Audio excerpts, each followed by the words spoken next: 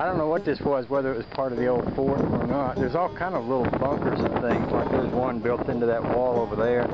There's two over by the beach where I noticed they made the doors out of steel.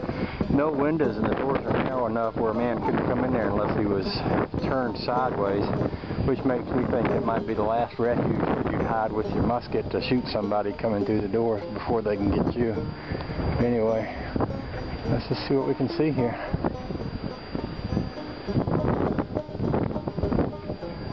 Notice this has got some little skinny doors too. Look at this.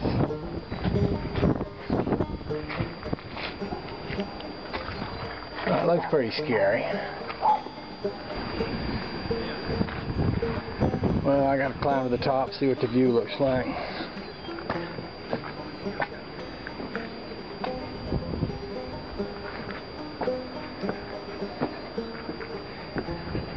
That's pretty cool.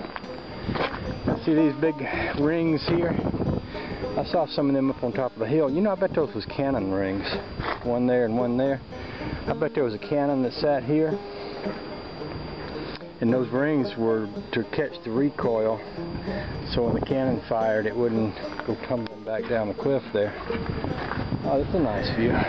There's another one there and that one would have had, see how they, that concrete is rounded? They would set the cannon up there it would have a wheel on it, run around that rounded turret. That way they could swing the cannon this way and that. Hmm.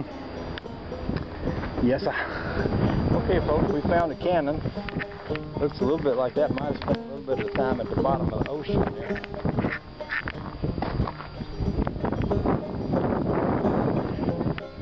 We found a bell. Has some on.